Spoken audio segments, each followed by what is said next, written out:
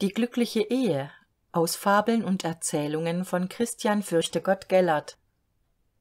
Gedankt sei es dem gott der ehen. Was ich gewünscht hab ich gesehen. Ich sah ein recht zufriednes paar. Ein paar das ohne gram und reue bei gleicher lieb und gleicher treue in kluger ehe glücklich war. Ein wille lenkte hier zwo seelen.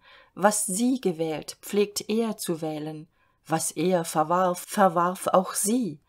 Ein fall wo andre sich betrübten stört ihre ruhe nie. Sie liebten und fühlten nicht des lebens müh da ihn kein eigensinn verführte und sie kein eitler stolz regierte so herrschte weder sie noch er. Sie herrschten aber bloß mit bitten. Sie stritten aber wenn sie stritten kam bloß ihr streit aus eintracht her so wie wir eh wir uns vermählen uns unsre fehler klug verhehlen uns falsch aus liebe hintergehn so ließen sie auch in den zeiten der zärtlichsten vertraulichkeiten sich nie die kleinsten fehler sehn der letzte tag in ihrem bunde der letzte kuß von ihrem munde nahm wie der erste sie noch ein. Sie starben. Wenn?